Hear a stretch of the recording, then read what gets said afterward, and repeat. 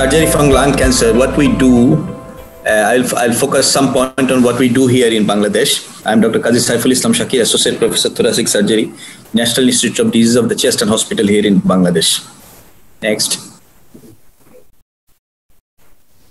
So, as we all know, these uh, uh, common facts: lung cancer is the uh, leading cause of cancer in the uh, in the world, and also increasing in Bangladesh, and uh, comprising one third of the all male cancers here, but mostly presents at later stages of the cancer, and directly related to consumption of tobacco and alcoholic beverages, also toxic pollutants, or pollutants of plastic and industrial wastes.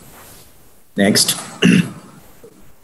So this is a study done in National Institute of Cancer Research Hospital in Bangladesh in 2007, their annual report, which shows that uh, lung cancer was the leading cause of cancer in men, also in both sexes, although breast was uh, the leading case in case of women and lung being the uh, fourth. But interestingly, here we also see the esophageal cancer to be the third in men and also in women. Uh, I am referring this because uh, this is a slide taken from uh, Dr. Uh, Kamaluddin Sir. He had a present, uh, article published in 2013. So if we go to the next slide, we can see uh, that the current GLOBOCAN 2020 uh, statistic shows that esophageal cancer has become the number one cancer in all sexes here in Bangladesh uh, according to their studies and statistics, and lung cancer had went to fourth place. Next slide. Also in the males, esophagus is number one, lung became second.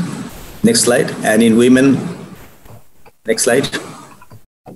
And women, breast uh, remained the first, and esophagus in the third position, and lung cancer went actually to the sixth position.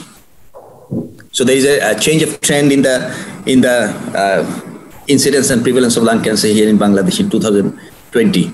So treatment for lung cancer basically surgery, radiofrequency ablation, chemotherapy, radiation, targeted therapy, immunotherapy, and palliative procedures.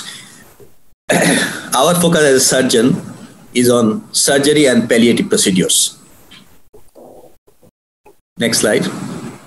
So surgery from lung cancer, uh, it is important in the diagnosis, staging, and definitive management of non-small cell lung cancer.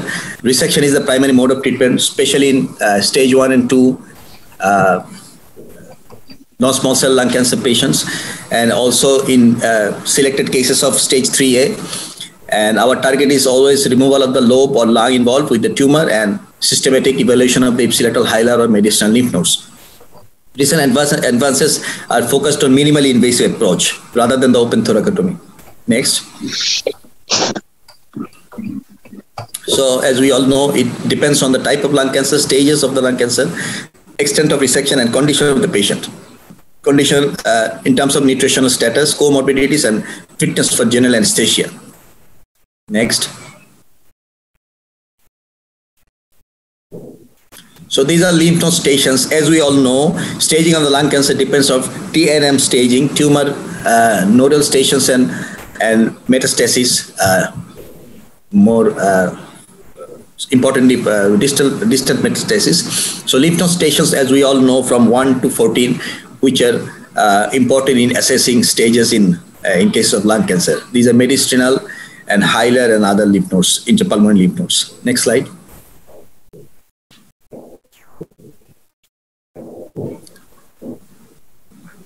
Next slide, please. Next, next slide.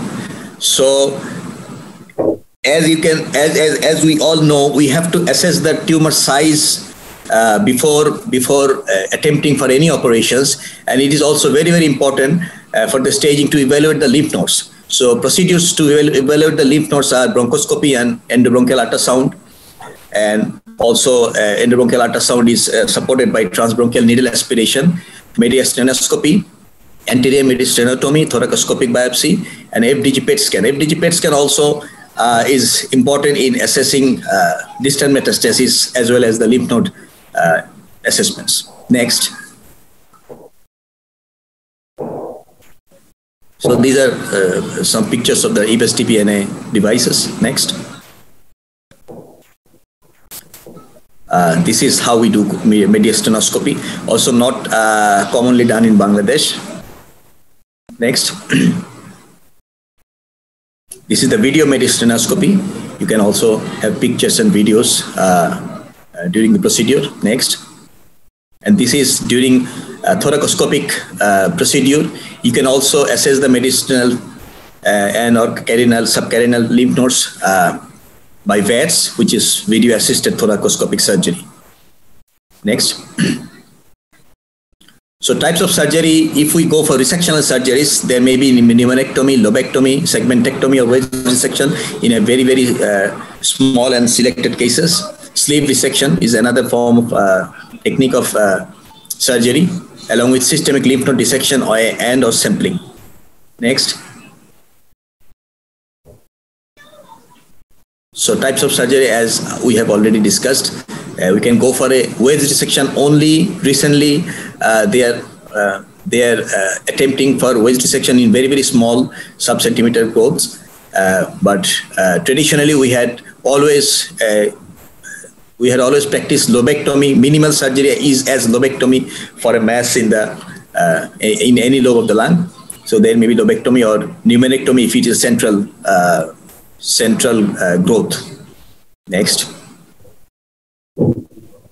So approach of surgery can be open thoracotomy. We do, all, most of the cases, we do a posterior lateral thoracotomy, which is often six inches to eight inches long uh, incision with uh, with uh, incision along the muscle layers and and spreading out the uh, spreading out the uh, thoracic cavity by spreading out the ribs, adjacent ribs, and also there is uh, now more and more we are focusing on minimally invasive techniques which has been in the practice worldwide for the last 20 years. But in Bangladesh, we also had started doing mostly video assisted thoracic surgery or thoracoscopic surgery. And worldwide also they are doing robotically assisted thoracic surgery, which, which is yet to be started in our country. Next.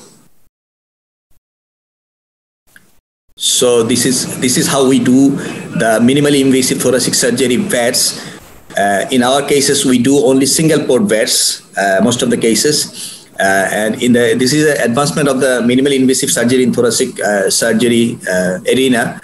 They started with four ports or four holes, and then they came down to three, two, and now this is a single port or uniportal VATS procedure. And we make an incision like this, and all the instruments, including the telescope, goes through this through the this single incision or port. Next. So our goal of surgery is to remove the main tumor completely with clear margins, which we call R0 resection, and remove all the draining lymph nodes on the ipsilateral side, preserve lung function so that a patient can maintain a good quality of life. Next. So who gets the surgery?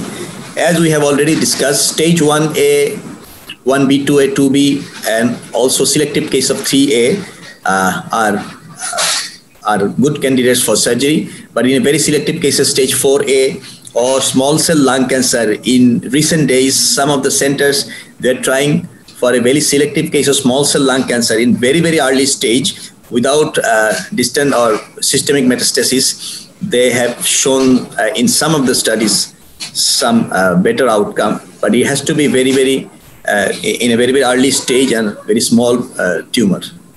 Next. So uh, as we have uh, discussed already, I'm continuing the discussion here. Uh, as we have said, stage 1A, 2A, 1B, 2B. Uh, these are a, these are the groups uh, which are amenable for surgery upfront. Then there are stage 3A, which is T3N1, and also T4N0 and T4N1. Select uh, depending on the structures they involve if the structure they involve, if we can remove the structures involved with R0 resection with the support of, if if necessary, other uh, other colleagues in other surgical specialties, like if we have uh, attachment in the vertebral body, then you have to remove portion of the vertebral body and you take uh, help from the spinal surgeons. And also if the great vessels are uh, involved like the superior vena cava and you have to resect the superior vena cava partially, then you have to take uh, assistance from the cardiothoracic and vascular surgeons. So these are another group 3A. 3A is a variety of uh, have variety of presentations and surgery always depends on uh, selective cases and in an uh, in a high uh, volume center with very expert hands and most of all we need a multimodality tumor board decision uh, in these cases and also stage 4a in selected uh, extrathoracic metastatic cases a single extrathoracic metastasis if we can take out the primary and also that uh, metastatic nodule say for example mostly in the brain then there is uh, then there is a good outcome. Uh, so uh, very highly selective cases of 4A also uh, are amenable for surgery, but the N2 disease, which is 3A, T1, T2, TB, uh, these are a, these are very uh, interesting group of patients. In all these cases, you must need a multimodality tumor board decision because N2 may be single or multiple or bulky, non-bulky stations, lymph nodes or sometimes surprise lymph nodes, surprise N2, which had not been uh, detected earlier, but during surgery, you get a N2 or you send for frozen section biopsy before proceeding for surgery, you get N2 positive. So these are uh, the situations where you can go for surgery, but in very selective cases, as I have uh, said already. Next. And then comes the palliative surgeries. Uh, uh, uh, in the area of palliative surgeries, most of the palliative surgery that we do in our country is pleural fluid drainage because the patients come with uh, malignant or paramalignant effusions and we have to go for pleural fluid uh, drainage, uh, often using chest drain tubes. And the other the other procedures that I mentioned here is metastatectomy. Most of the colorectal cases have uh, uh, lung metastatic. I mean, not most of the cases. I mean, most of the lung metastatic cases are uh, uh may come from the colorectal cancer uh, uh, patients or renal cancer patients. I lost the slideshow, I think.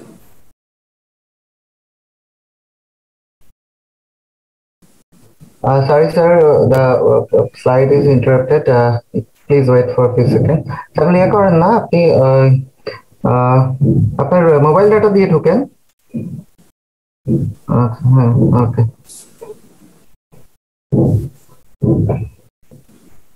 So I, I may uh, proceed with this uh, without the slide, focusing on the palliative surgery. I mean, because most of the patients come here in our country, uh, by the time they come, they they uh, report to the hospital. Most of them develop pleural effusions, and even with pleural effusions, they delay delay coming to the specialized center uh, uh, before before coming to the specialist center. They go to the local doctors and they uh, go for taking out some fluid through thoracocentesis, and most of the time we see they take some anti-tubercular drugs at the as the tuberculosis as, as tuberculosis is mostly prevalent in our country. So even in pleural effusion cases, uh, they make delays in reporting to us. But once they develop pleural effusions, I mean, uh, we, we do do drain them using chest drain tube, but uh, but the prognosis is uh, not very good at that stage. And sometimes, if we use the chest drain tube, we have to convince the patient that once you put a chest drain tube, it takes sometimes a long time for the for the drain to come to a uh, minimal collection in 24 hours. Okay, so uh, we have come back to the slides again. So other than pleural fluid drainage, there can be metastatectomy, as I have said earlier. Metastatectomy in secondaries in lung coming from colorectal or renal carcinoma patients is also an option.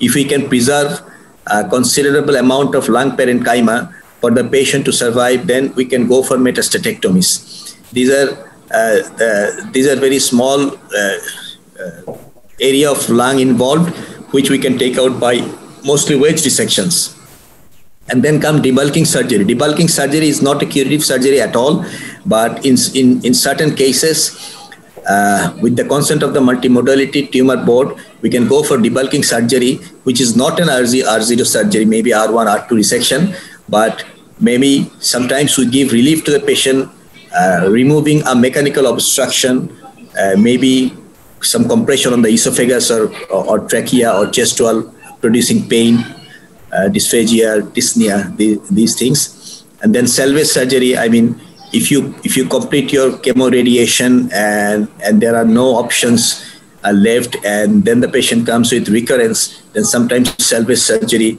is the thing that you do uh, to give relief to the uh, mechanical symptoms of the patients. Next.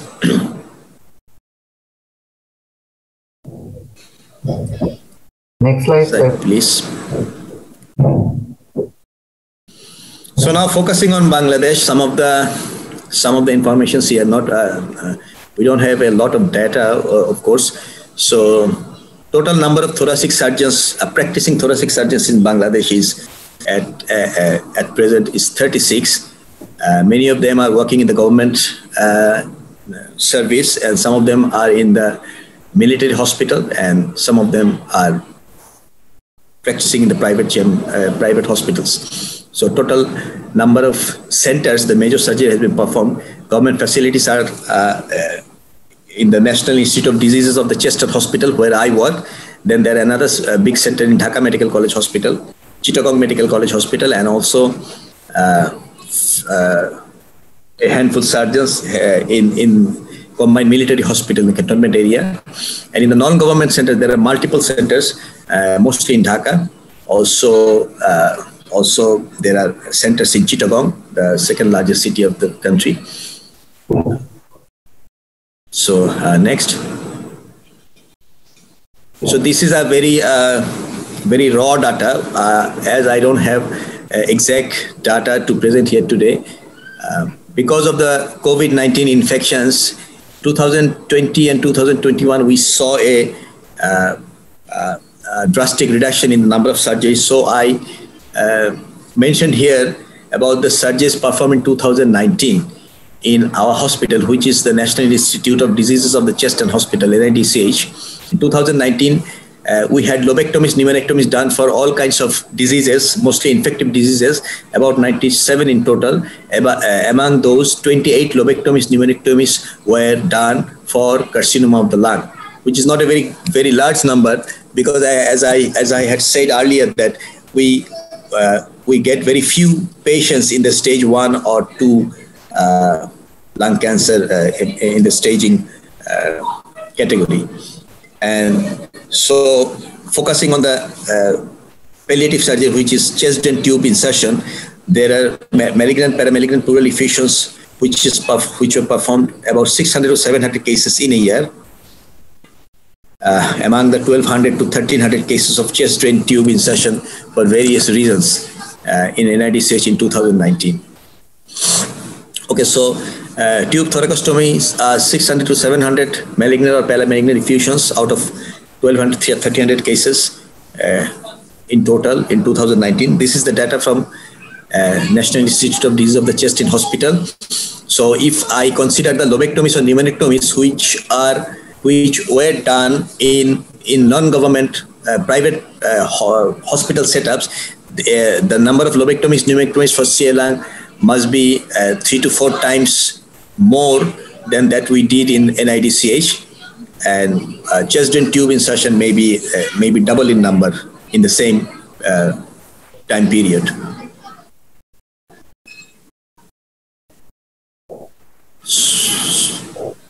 So this is the next slide. Can you see the slide? Yes. Okay, so uh, how they present. As I have already uh, talked about this in, in my um, presentation, mostly with malignant paramalignant effusions or in an inoperable stage. The patients that we get uh, during our admission in, in, in NIDCH, the people having lung cancer are mostly malignant or malignant, malignant effusion patients or patients with lung cancer in inoperable stages. And I also here can mention a study in NICH uh, done by Professor Parveen Madam.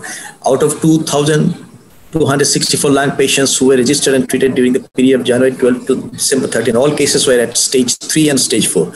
You, you notice here it is done in NICH in 2012 uh, and 2013. All cases it mentions all cases were at stage 3 and stage 4 disease with 86% normal non-small carcinoma, 14% small carcinoma. The next next slide, please.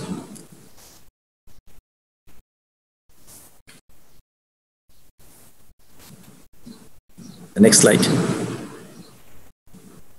Hello? Uh, Can we go to the next slide? Odysseus, please uh, put the next slide. So why the delay?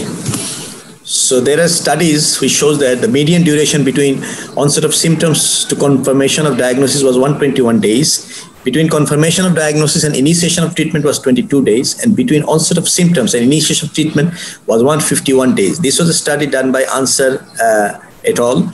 in 2021, and the, the cause that was uh, mentioned there, the healthcare providers in our country, I mean, if I consider the vast uh, uh, village areas and, uh, and uh, areas outside the big cities, uh, all over Bangladesh, healthcare providers are often the pharmacies, the people who sells medicine, and also traditional healers like Ayurvedic, homeopathic, uh, Unani, Kabiraji, herbal medicine providers, and village doctors, which are the most common informal. They are the informal healthcare providers in Bangladesh, and also among the formal institutional services provided by general practitioners uh, and also specialists. The people always uh, report to the traditional healers or informal healthcare providers initially because maybe because of their lack of awareness and maybe because of their poverty.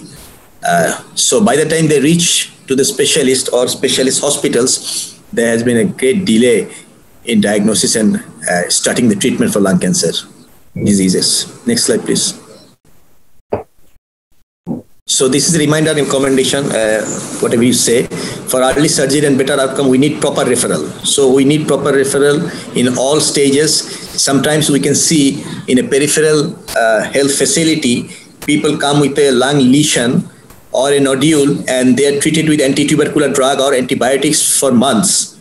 So this must be the, the, the information and the message must be spread out uh, among the doctors uh, about this condition that if you if you have uh, if you have seen patients with lung nodule or uh, or suspected lung lesions, please uh, refer the patient early, or at least you go for some uh, definitive diagnosis. So high degree of suspicion is always welcome. Uh, not all the cases are tuberculosis. you must keep that in mind and increase awareness among the patients, among the doctors, also healthcare providers, also, and awareness not only uh, for the treatment of lung cancer, also to prevent lung cancer, uh, as we can uh, achieve by uh, avoid smoking, tobacco, and alcohol. Um, although alcohol uh, has incidence, a very low incidence in our country, but uh, smoking is a, a, serious problem here. And also lung, cancer, lung cancer screening, if we can start a comprehensive and easy to access lung cancer screening in our country, that would be a very good idea.